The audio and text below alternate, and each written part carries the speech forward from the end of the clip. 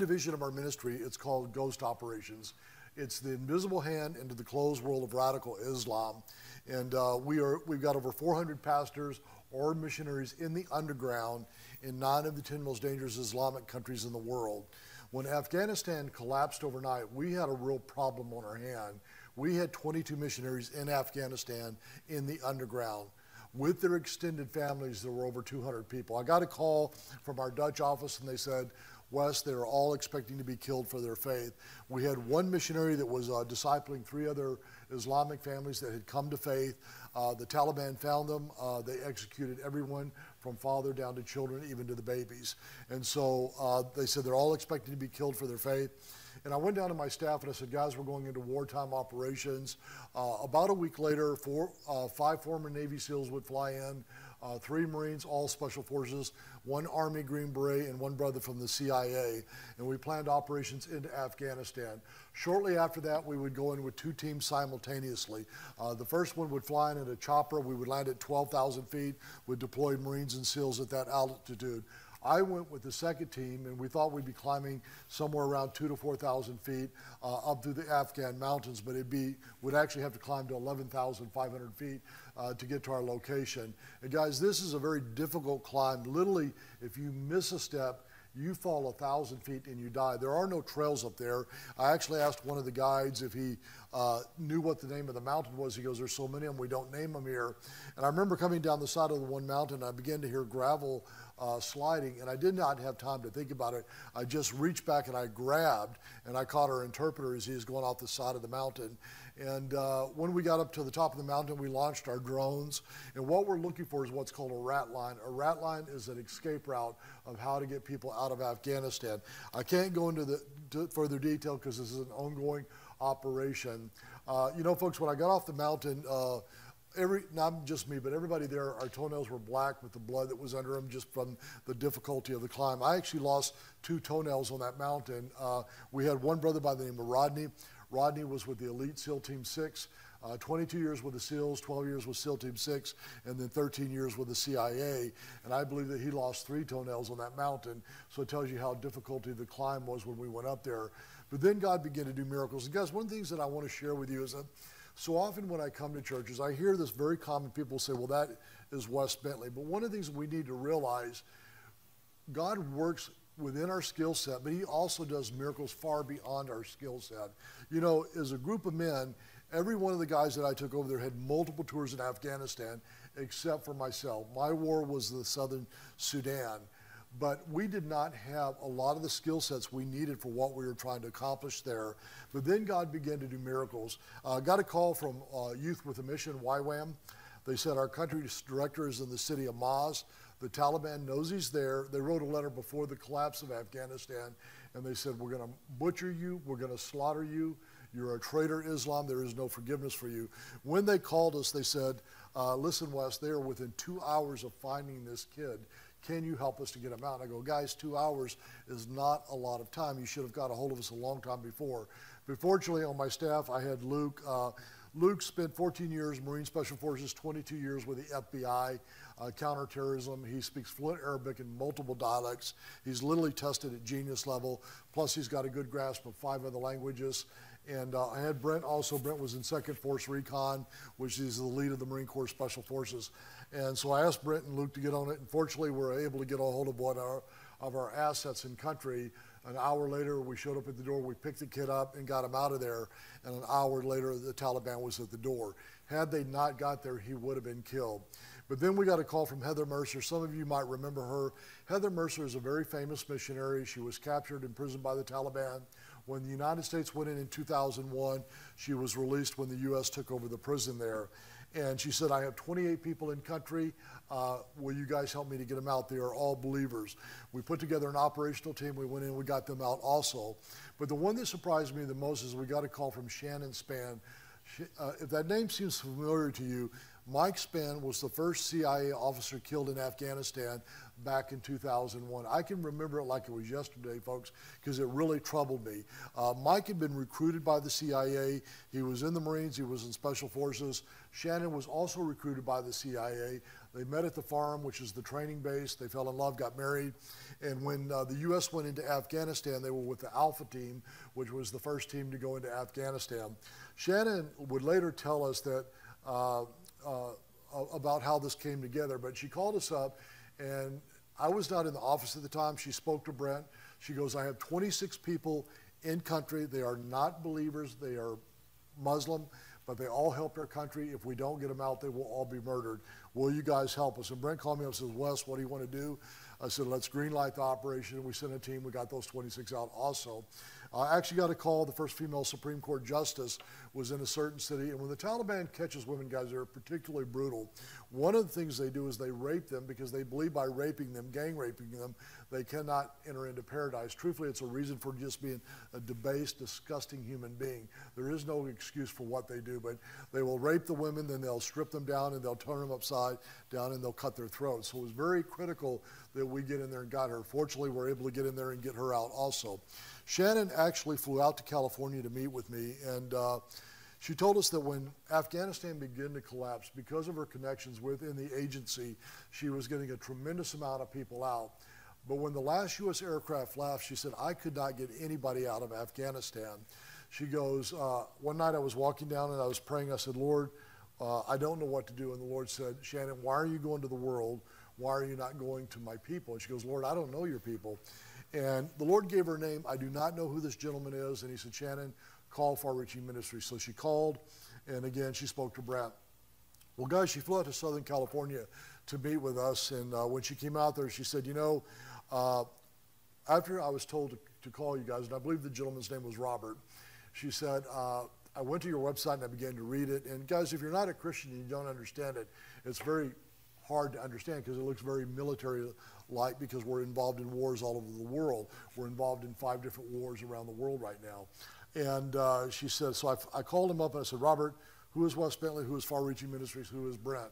And he said, Shannon, if my family members were in Afghanistan, these are the two men I would want to go and get them out. Well, guys, one of the great things that's come out of this is she's now become a part of the team. So, what we were missing on the intelligence side, Shannon has this very, very well down. And she can literally walk into any agency office in the world and get information that helps us to do our job over there. Uh, I later had a, a, a, gentleman from the U.S. Intelligence Agency, and I won't name which one. He called me up and he said, Can I fly out and meet with you? And I said, Of course. Well, he literally flew out that day. I was kind of surprised by it. And he came to the office and he said, Wes, you are not aware of this, but the entire intelligence world is talking about you and your organization. And of course, you know, you're quite surprised to hear this. And I said, Why in the world would you guys be talking about us? He goes, We're U.S. intelligence and we can't get anybody out of Afghanistan. You're a Christian organization, yet you guys are getting all kinds of people out. What are you doing? So, first thing I did is I opened up the Word of God and explained what it meant to walk with Jesus Christ for the next 45 minutes, you know. And, uh, you know, guys, it became a, a blessing. He's actually come to work for us. He still works for America, but uh, because they won't do their job. He's decided to help us. And the guy's a rock star in helping us to get people out of Afghanistan. But when I went back to Afghanistan in um, uh, January, he sent me a message there uh, through Signal. And he said, Brother, when I first met you, he goes, uh, I had been a Catholic and I had walked away from faith many years ago. But after watching the way that you guys behave, he goes, I have surrendered my life to the Lord Jesus Christ. And guys, um, I tell people for me that's enough, guys. That's all I need in eternity to know that. Shannon would later tell us that uh, she is best friends with a New York Times best-selling writer. I guess he wrote the movie 12 Strong. Probably a lot of you guys have seen that movie. And uh, she, he actually called her up and he said, Shannon, what is in it for Far Reaching Ministry? She goes, nothing. He goes, no, really, what is in it for them? She goes, there's nothing in it for them. They're doing it because they love the Lord and they care about these people. He said, you know, uh, and you got to realize this guy's a non believer. He said, I've been watching both secular and uh, Christian organization. Everybody that's out there is trying to advertise themselves. They're trying to get on the news, they're trying to get on television, they're trying to get interviews. They want the notoriety, they want the money that comes with that. except for Far Reaching Ministries. He goes, they're the only organization out there that is a ghost. And she goes, I'm telling you, it's because they love the Lord.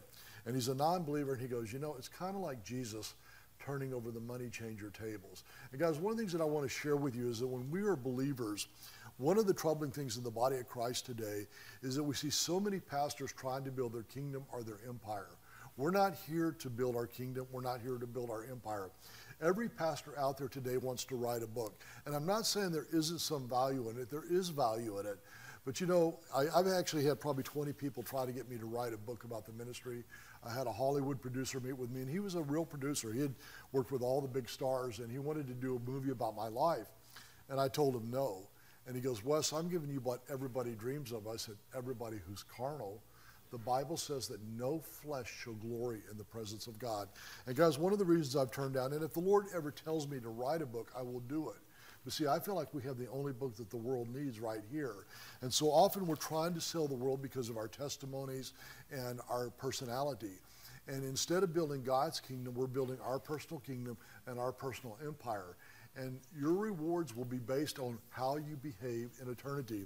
You know, guys, when Afghanistan began to collapse, the Lord really dealt with me in this area.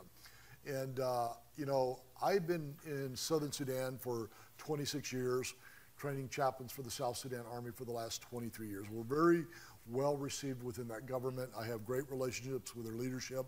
I've led three of the commanding generals to Christ. And, uh, but when, before I was in uh, uh, South Sudan, uh, I was in uh, Russia for five years. And guys, Russia was always my first love in ministry. Matter of fact, I never wanted to leave Russia to go to Africa. The Lord called me, and out of obedience, I did it. But Russia has always been my first love, and I try to go back there every year to do ministry. Uh, the biggest holiday of the year in Russia is not Christmas, it's New Year's. And they don't cel- celebrate Christmas on December 25th. It's uh, Eastern Orthodox, which is January 7th. And, uh, and the biggest holiday of the year is New Year's, and uh, that's when they give kids gifts. And so they close down everything the 31st of December, and it doesn't reopen up until January 10th. And so it's a great time to go there teach conferences and do outreaches. And I love to go there during the wintertime because in South Sudan, it is hot all the time. You literally sweat all the time. And I hate the heat over there, but it's where God has called me to be. So I love to go to Russia during the wintertime and the people. And please understand what's happening between Russia and Ukraine. This is not the fault of the Russian people. This is the fault of the leadership. Most of the Russian people do not want to be involved in this war. We've already had one of our pastors over there that we're supporting that has rescued 39 Ukrainian families, got them out of Ukraine through Russia into the country of Georgia, and they're extremely traumatized. We're taking care of them right now. Uh, but, I but I remember that about four or five years ago, I was coming from the city of Yaroslava. Uh, we just bought a, a, a new car for a Baptist pastor. And guys, we're driving back, and we're driving through this blizzard. I mean, just snowflakes that are about the size of the quarter, and they're so thick you can only see about 30 yards in front of you. And I remember that as I was driving through this blizzard, it, was just beautiful. I was enjoying it.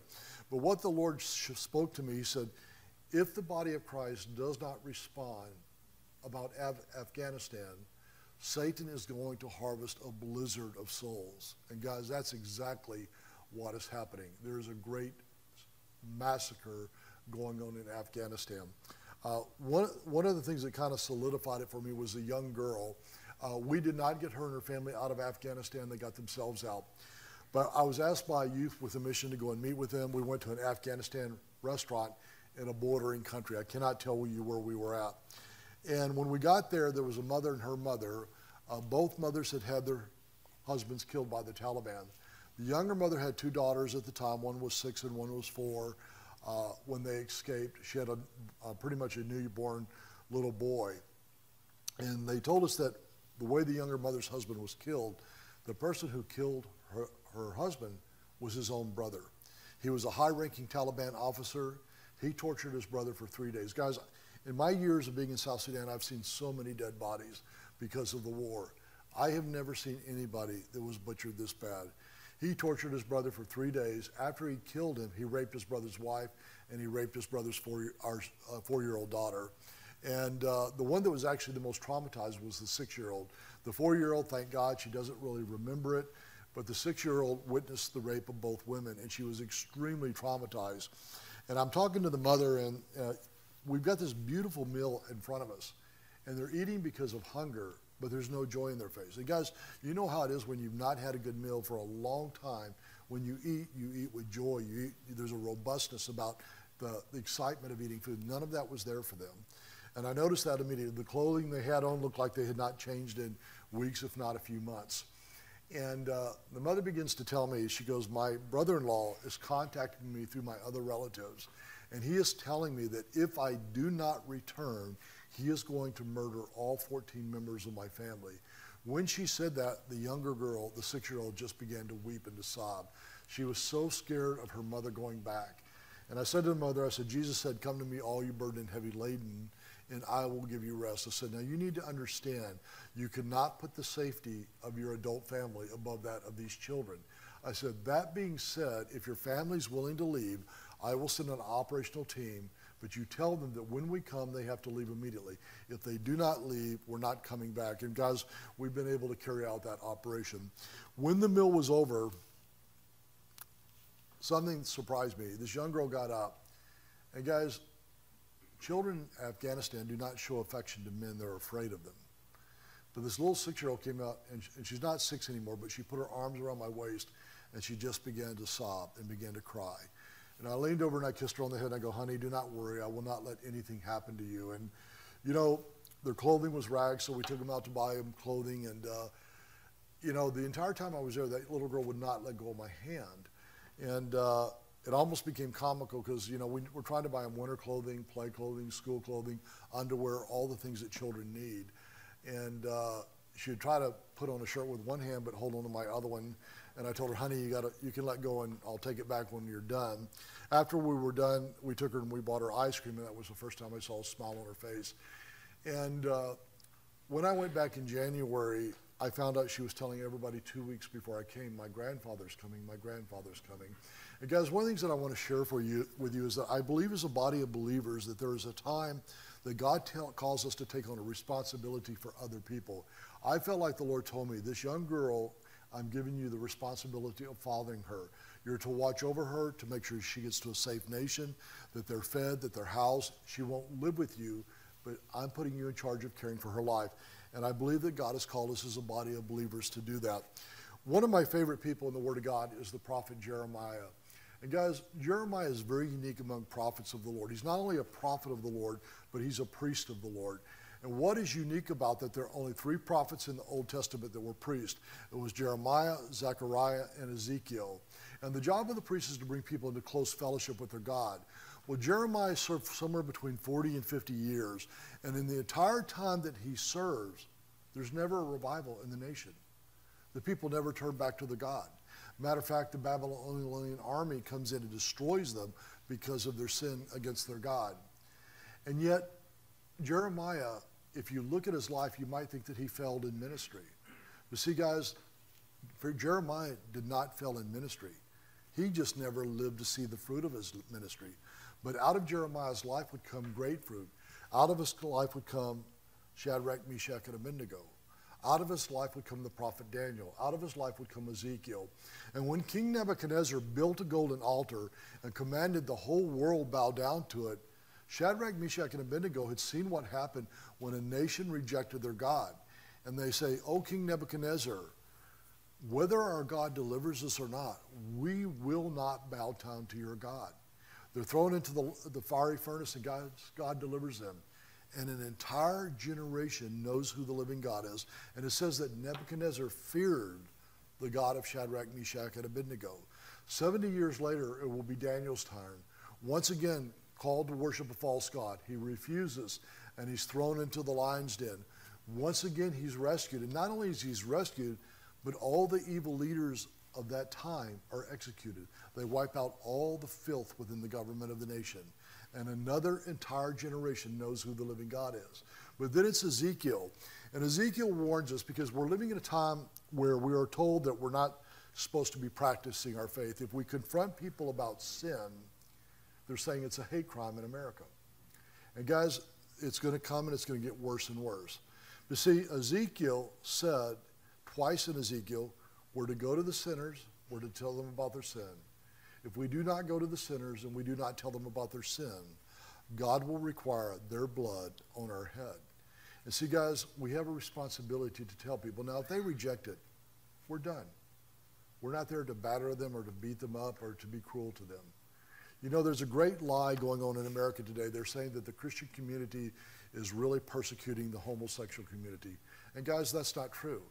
Matter of fact, by and large, the Christian community has been ambivalent. They've never cared. That's not the way they're supposed to. They're supposed to confront them. We're supposed to confront anyone who's living in a lifestyle that's contrary to God's word. But they're saying that it's being done. And the reason why is because they do not want the truth preached. But we have a responsibility to, out of love to save them from eternity without Christ. Over the years that I have been ministering, I have led 10 homosexual women to Christ. Not one man, but 10 women. And guys, I always tell them, I said, I want you to hear me out. I'm not, I don't hate you. I don't dislike you. But according to Romans chapter 1, the Bible says you cannot practice this lifestyle or you will not inherit the kingdom of God. Now, if you reject what I said, we can leave, we can part in peace. And people will say to me, Well, Wes, I was born this way. I said, I don't doubt that. But the problem with that is the serial killer will say he was born this way. The pedophile will say he was born this way. The guy that wants to sleep with every girl in his school will say he's born this way. Jesus said you must be born again. You must be born out of a life of sin into a life of purity. And guys, before I was a believer, I was a soldier. I lied about my age when I was in the 10th grade and joined the Marines. And I volunteered for combat duty in Vietnam. And I was a very highly trained soldier. I wanted to fight. I wanted to take human life. Now, I didn't want to be a serial killer, but I wanted to prove my mettle as a soldier. And what changed me was Christ coming into my heart. That's what took that out of my heart. And guys, one of the things about Jeremiah, in chapter 10, verse 23, Jeremiah says, I know, O Lord, that a man's life is not his own. It is not for man to direct his footsteps. Now, it doesn't read well in the King James Version, but it reads well in the NIV. And what he's saying is that our lives do not belong to us. If your life belongs to you, then you do not belong to the Lord. The Bible says, He who finds his life will lose it. And he who loses his life for my sake will find it. And guys, we're supposed to be lost in Christ. We're supposed to find ourselves in Jesus. And this is what Jeremiah, Jeremiah would go through very hard times in ministry. And guys, in Jeremiah chapter 15, you see why Jeremiah was able to stand so fast. In chapter 15 and verse 16, he says, When your words came, I ate them. They are my joy and my heart's delight. For I bear your name, O Lord God Almighty. I never sat in the company of revelers, never made merry with them. I sat alone because your hand was upon me. And guys, as believers, this is the way we should be. We don't sit with those who scoff and do foolish things. We don't sit with the drunkards. We're in the world, but we are not of the world. We're there to be a witness, but we're not there to participate with them. This is what the mark of a true believer is. And guys, Jeremiah would go through many hard times. There would be times he was just beat up and he wanted to quit. And you know, you think after what he went through, God would say, I understand, Jeremiah, just hang on. But that's not what God says to him at all. Matter of fact, Jeremiah is going through a very hard time. And in chapter 12, verse 5, God says to Jeremiah, Jeremiah, if the foot soldiers have wearied you, how will you handle mounted horsemen? And the image that he's giving him was in the times of old when an army would come out. At first, you would see the men with spears and swords and chainmail, but then came the heavy cavalry. And these are massive knights and massive horses with armor on them and long spears. And they would begin to walk and trot, and then they're in a full charge, and these massive spears are coming down at you. And it must have been terrifying. But what God is saying to Jeremiah, Jeremiah, if the foot soldier has wearied you, how will you handle mounted horsemen? You know, guys, for me, we've been involved in the war in South Sudan for 26 years. In Nigeria, we have a village that we're working with. There's over 400 women whose husbands have been killed by the Islamic Fulani tribes. It's like a war zone. All of them have been raped. And we're trying to protect these women. In Burma, the same thing is going on. They're killing the Christians in Burma. Now we have the war in Afghanistan. We have already rescued almost 1,000 Afghanis. The problem that we're having is every U.S. agency, every foreign government, to our knowledge, every humanitarian group has pulled out of Afghanistan. We're the only ones left, and there, we have over 3,500 requests to get more people out. And guys, we're going to keep going after them until we can't anymore. When the war in Ukraine started, I actually prayed and said, Lord, are you actually calling me to get involved in another war? And the reason why I even considered it is because we had 40 pastors in the Ukraine. Do we get involved? We have four of the wars. We're, we're literally stretched as much as we can be. And the Lord spoke to me in Proverbs in chapter 24 and verse 10. It says, If you falter in times of trouble, how small is your strength? Rescue those being led away to death, hold back those staggering towards slaughter. If you say, But we knew nothing about this, does not he who weighs the heart perceive it? Does not he who guards your life know it? Will he not repay each person according to what he has done? Now, guys, sometimes you think, God, I can't take on anything else. But right now, we're feeding 15,000 people every day. And we committed to three months of that. I've got guys coming in from the 75th Ranger Regiment. They're going to do combat medical for the Ukrainian Army. I got Marine SEALs and Army Special Forces coming in to teach other skills that they need to protect themselves. And yet, is the step of faith of trusting the Lord. You know, guys, I flew to Amsterdam on April 4th. On April 6th, I had a dream. I have been a believer for 46 years, guys. I have never been high in my life. I've never taken drugs. I have never wanted to. The last time I was drunk was 46 years ago. I, the thing about alcohol, I didn't have to go through a program to give it up. I fell so in love with the Lord and God and serving Him, I just didn't want it anymore. And that's the road to how you break free from this stuff you fall in love with the Lord. But I had this dream, and in 46 years of being a believer, I've only had three other dreams that I thought were from the Lord. And guys, I went to sleep, and in my dream, I dreamed that there was a pastor, uh, Billy Rutledge from Calvary Chapel, Hatteras Island. He was over there, he was doing ministry with all the soldiers, and Billy's like that. He'll go any place in the world to do ministry.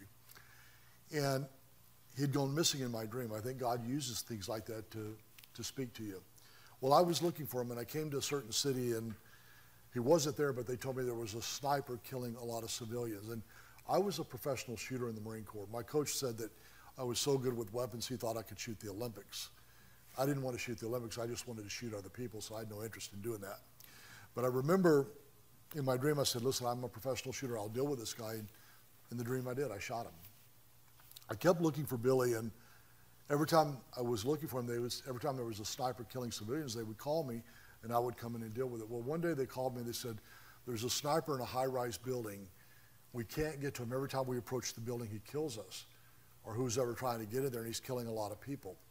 And I said, Guys, don't worry about it. I'll deal with it. Well, guys, it's funny because in the dream, I entered the building with another sniper and I knew who he was in the dream. But for the life of me, I cannot remember anymore. Since I woke up, I couldn't remember who he is. And I remember telling this guy, I said, listen, we're going to clear this floor by floor. I'll take the lead, but you need to watch. I don't want them coming up behind us and shooting us if we miss them. And we got up to about the 18th floor, and I rounded the corner, and there was carpet on the floor with plastic sheeting, and it was moving.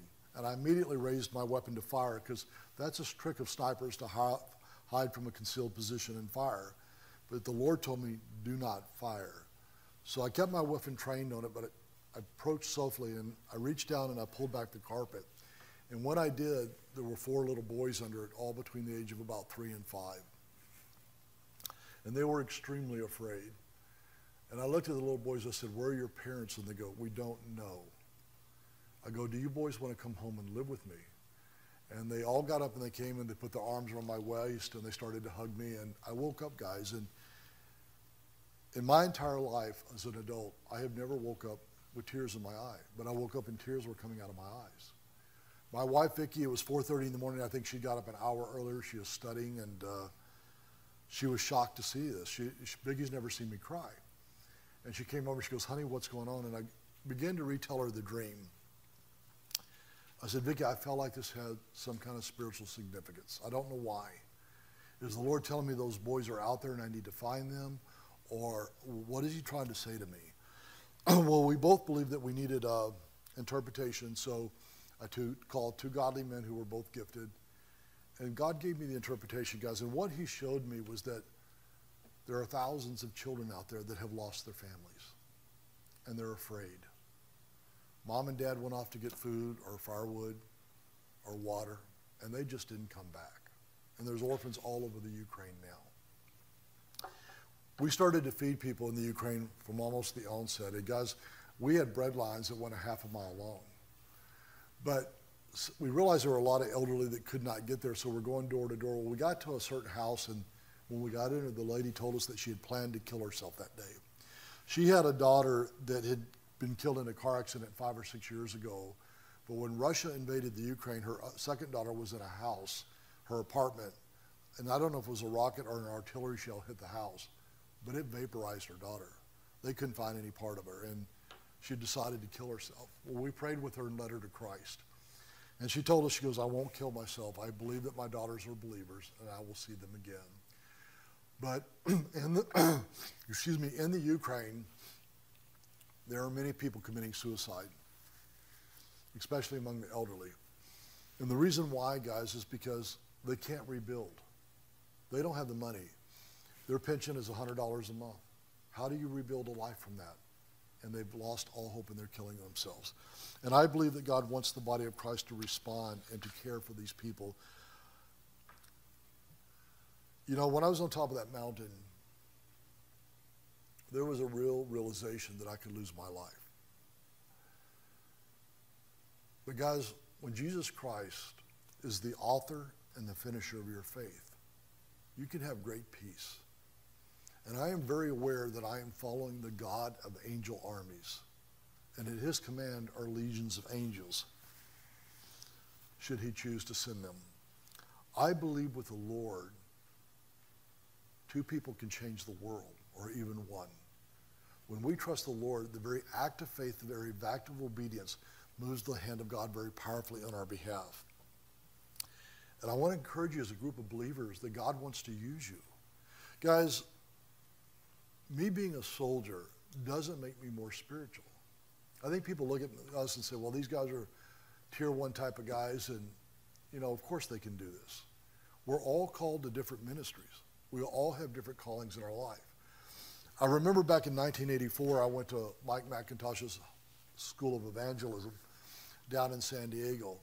And during a midweek study, Mike MacIntosh came out on the stage and he said, Hey, one of the ladies didn't show up for childcare. Could we get a volunteer?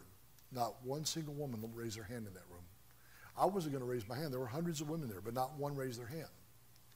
So, using a great lack of discernment, I raised my hand. See, these ladies knew something I didn't know. I got the four year olds.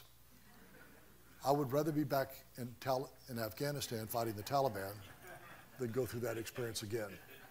See, we're all gifted for different things, and God wants to use you with your gift. Paul the Apostle, in the book of Romans, he said, daily they prayed for boldness. So if you're afraid to share your faith, pray daily for boldness. Paul said, stir up the zeal that's within you. And guys, what it means is return to your first love. A lot of people became believers 20, 30, 40 years ago. But time has gone by. You're not as active as you used to be. And you've just lost that fire. But guys, the Lord wants you to stir up the zeal that's within you. Remember the former days. Remember what it was like when you first became a believer in Jesus Christ. For me, it was extremely exciting. But I've never lost my zeal. I found great joy in doing it. We have a video we're going to show you guys. And Guys, the first part of the video is of the Syrian church. It's difficult to watch, but also inspiring.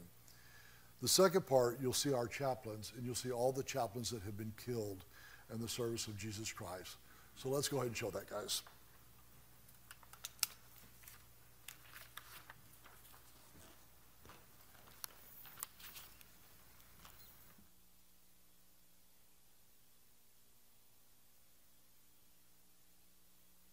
when the war started, many problems happened, and it's so difficult to continue the ministry.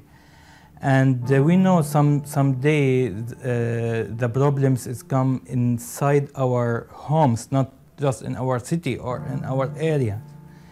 Uh, at that time, I speak to the leaders, and uh, we met together, and I said, as in Acts book, the believers when they have the persecuted most of them they go out of Jerusalem.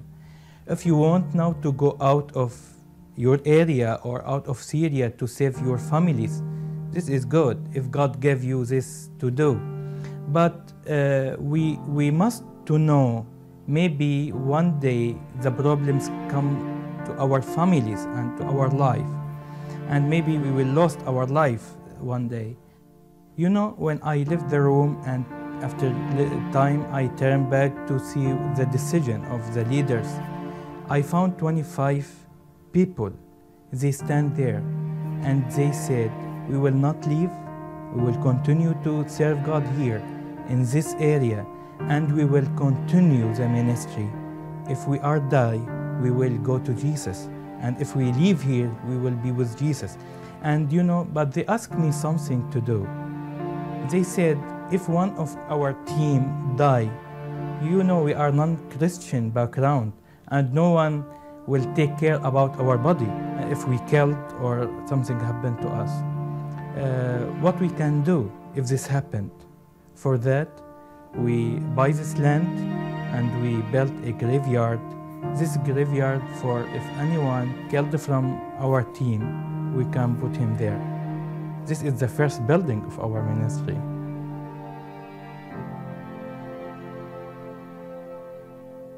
I think it's first uh, happened in Al-Raqqa city in Syria.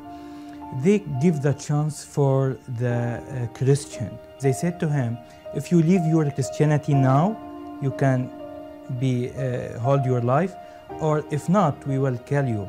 This this decision is, you, you know, it must to to to take directly, and most of the uh, Christians said no, we are ready to die for Jesus, and for that they uh, you you can see many uh, pictures about the Christian.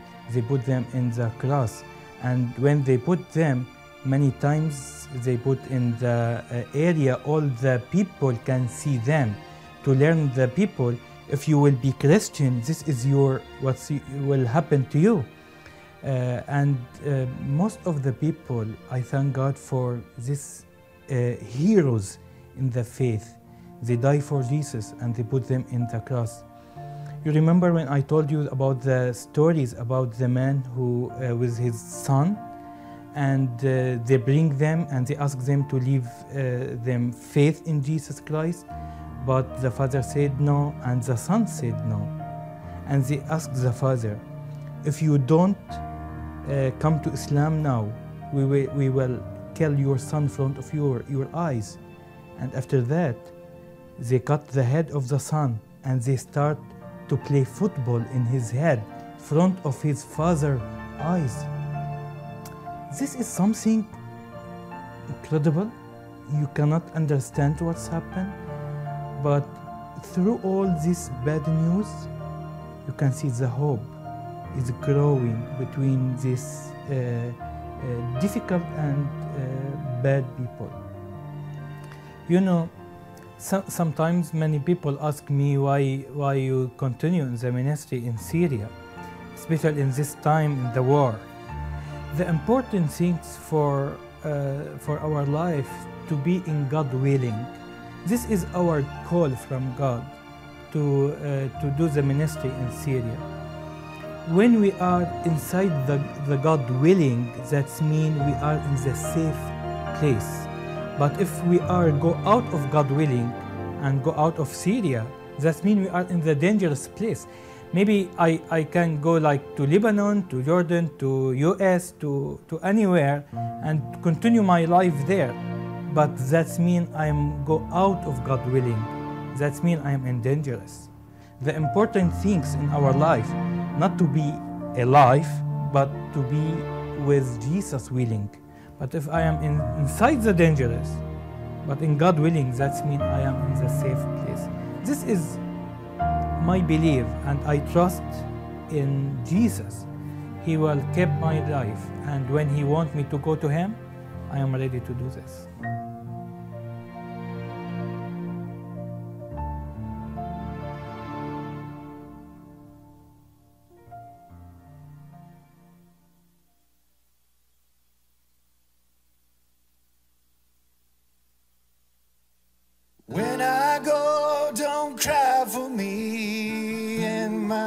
Father's arms I'll be. The wounds this world have done my soul, I'll be healed and I'll be whole. Sun and moon will be replaced with the light of Jesus' face. And I will not be ashamed, for my Savior knows my name.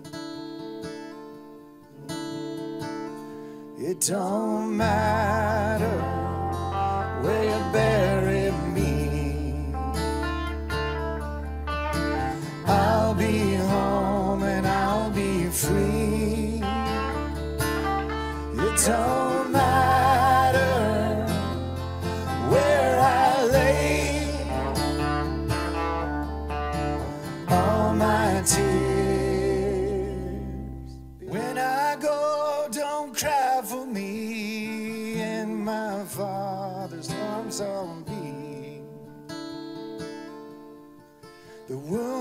this world have done my soul, I'll be healed and I'll be whole.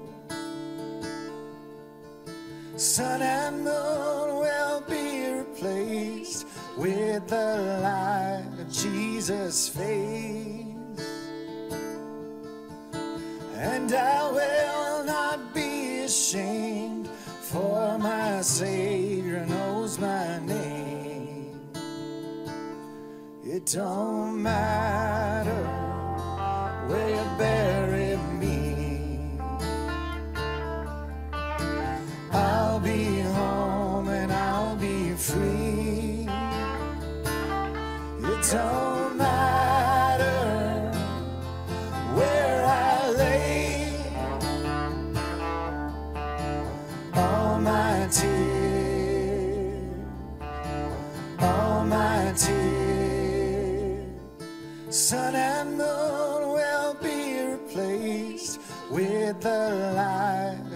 Jesus' face.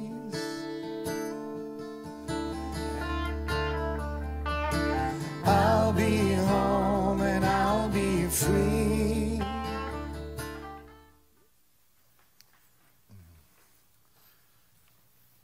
That number just rose to 70. John Bill was shot and killed two weeks ago Wednesday in the service of our Lord Jesus Christ. Folks, we have lost 70 members of our staff serving Christ in the southern Sudan. But the thing that you need to understand is we are winning the war for the gospel. We are seeing a nation where many are coming to Christ. Literally by the tens of thousands, we are seeing them come. And if you're going to be in a war zone, you have to be prepared to take casualties. I think that we need to understand as, as believers, God wants us to have an empathy for those that are lost in darkness.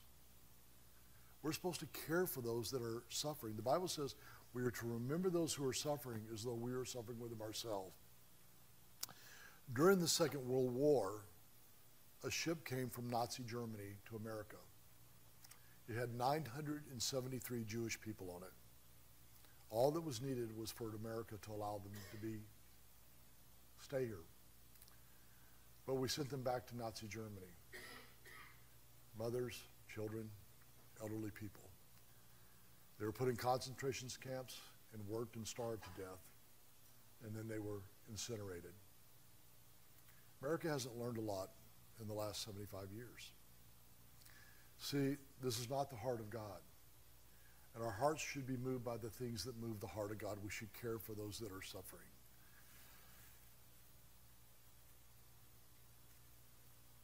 You know, guys, the Bible says, to whom much has been given, much shall be required. You guys have been blessed. You're, you have a pastor that has a pastor's heart. I listened to Dave on the radio. I've actually called him at times because of messages that he was talking about. And I realized that he has a pastor's heart. A lot of men who are in ministry don't have a pastor's heart. They're in ministry because they're gifted, they may be good at it, they may be called, but they don't have a love for the flock the way that your pastor does. I thought about being a pastor once, but I realized that you had to like people. So I chose to be a foreign missionary. But to whom much has been given, much shall be required. In closing this morning, I want to encourage you. And guys, we want to give you an opportunity. The first thing that I'd like to say is we do not want you to take this out of your church tithing if you want to participate. Uh, we are not a small organization. Financially, we are actually larger than most of the large Calvary chapels. Last year in, in Mexico alone, I think we built 10 houses for women last year. In Africa, we probably built 40 homes for people. Uh, we built seven churches in Russia. We built two castles in Africa. One's is, both of them are schools, and the castles to protect people from Islamic terrorism. But in the Ukraine right now, there are so many elderly people that do not have enough to eat. We started a program in Russia called Potatoes for Grandmothers, and it was literally meant for the body of Christ. It was never meant to be a big thing. We weren't trying to create a big thing. But I would go to the houses of believers, and elderly people would say, Wes, we drink milk twice a year, and meat does not exist in our diet.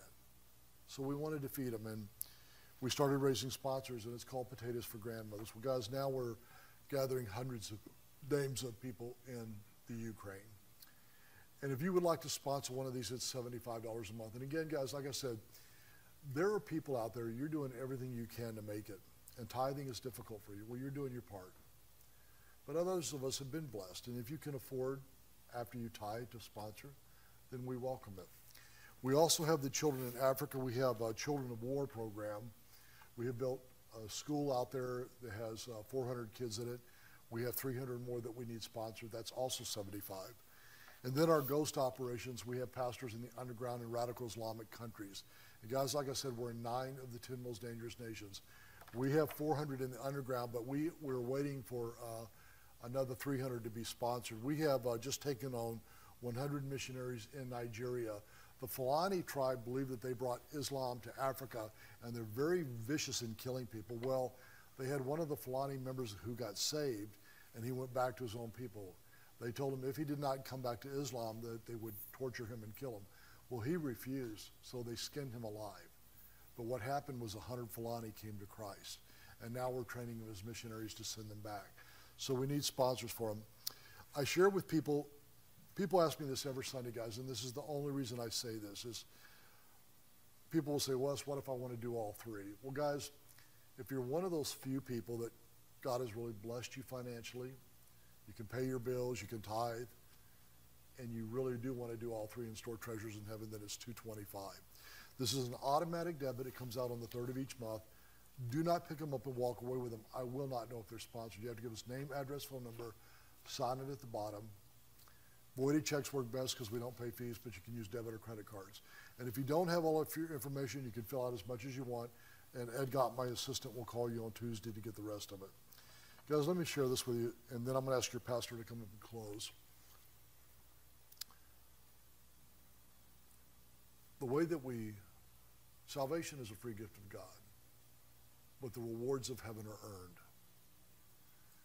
And guys, if you never do anything for Christ, why do you expect great treasures in eternity? You need to begin sharing your faith. It should not be once in a lifetime we should look for every opportunity. Every week you should be inviting someone to church. And if you're afraid, pray for boldness. I share with you that, again, we're a very large organization. You know, guys, it was interesting because during the year of COVID, I think all ministries thought we'd lose most of our support. Well, we started getting calls to feed people all over the world. I think we're feeding over 4,000 people in Mexico for three months. And instead of our donations going down, it was the biggest year in the history of our ministry. We brought in seven and a half million dollars. Well, last year, before Afghanistan happened, I told the staff, I think the Lord is telling me He's going to double the size of our ministry. But that doesn't make any sense. When you work for years to get to a certain point, how do you double in one year? Afghanistan happened. We did not do Afghanistan because of looking for anybody to know us. We're just trying to save our people. Well, last year our donations were $12.5 million. And this year we're headed towards 15 million, maybe 16. See, the very act of faith, the very act of trusting moves the hand of God. And one of the things that I've found, I find great joy in giving, guys. I really do. I've been very successful in business. I've actually been able to cover my salary for all the years I've been in ministry. And beyond that, give another $8 million to the ministry. I don't do ministry because I need a paycheck. I do ministry because I love Jesus Christ. And guys, I don't want to waste my life living in luxury and trying to have the best of homes and the best of everything. It doesn't, it doesn't mean you can't enjoy your wealth. You can. But for the most part, I want to use my wealth to win souls for the kingdom. The great privilege of my life has been to serve the Lord Jesus Christ. It has been the greatest experience I have ever had. And guys, every time I step into the pulpit, I thank God because I know that one day I'm going to step into the pulpit for the last time and I'm going to go home to be with the Lord. And I want to savor it. Pastor.